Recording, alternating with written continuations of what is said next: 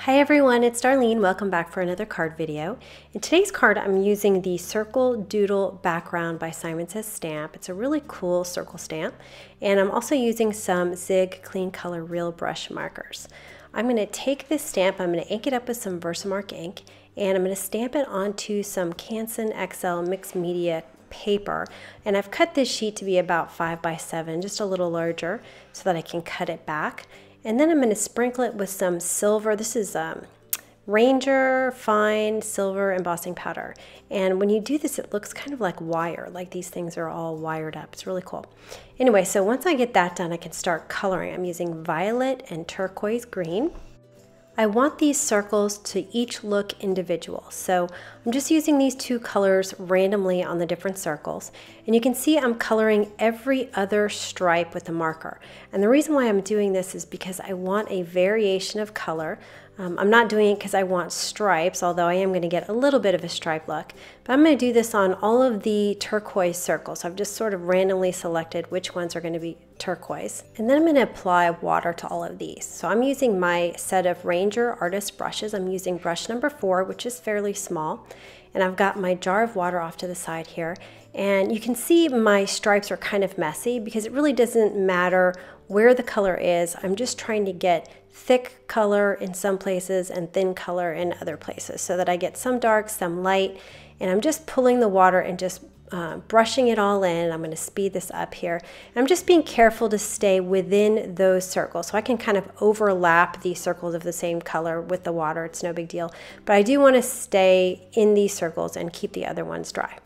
So I'm going to cover all of these blues and you can see I'm not really brushing in circles. I'm just tapping the water all over the circle. And when I'm done with my blue, I'm going to let this dry before I move on to the next one, which is violet. And I'm going to do the same thing with whatever circles are left. I'm going to uh, color every other stripe until I finish whatever's left and then I'll take my brush, I'm going to tap in that water again I'm going to speed this up and you can see now that the blue has dried. You can see a little bit of a stripe, but there's a lot of variation in color so it doesn't look like one massive amount of blue. So you can see also I'm being careful to stay within the lines of the purple, but because I've let the blue dry, it's not going to cause too much of an issue. If the blue is still, still wet, then you could get some bleeding over. But since I let it dry, it's not going to really be a problem. So I'm going to finish coloring all these circles. And then I'm going to let this dry again before I move on to the next step. The next step is going to individualize these circles even more. This circle right here is my topmost circle. And so I'm going to start with this. I'm going to work my way downward, if you will, toward the bottommost circle. I'm using my Zig black marker now. And what I'm going to do is I'm going to outline this topmost circle. I'm drawing a very thin line around the whole thing. Um, and you want to be careful not to get too thick because then you'll get too much black. And this black is very, very strong and potent. Uh, so I'm just going to draw a thin line.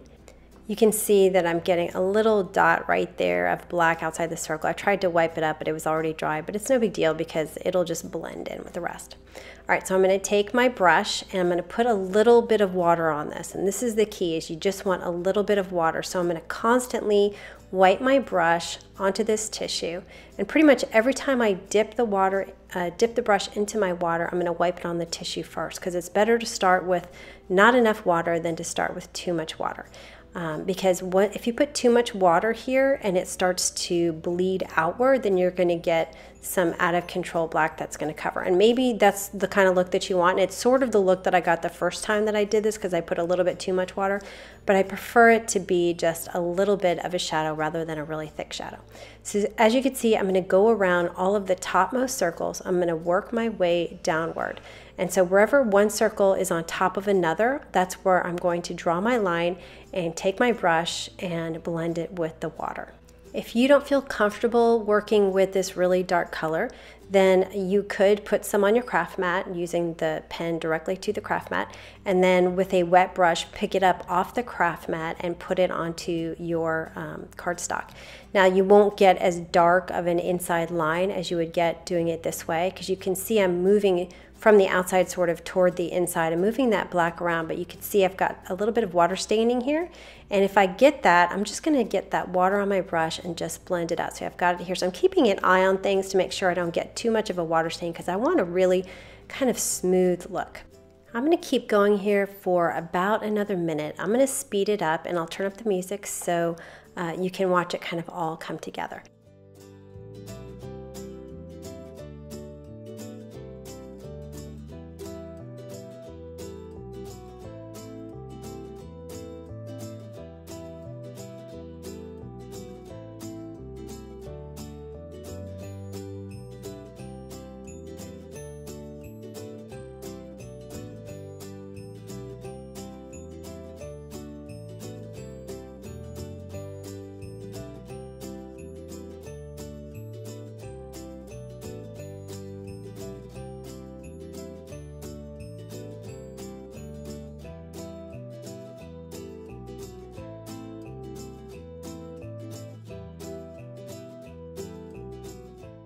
All right, that completes the coloring and I'm gonna let that dry completely.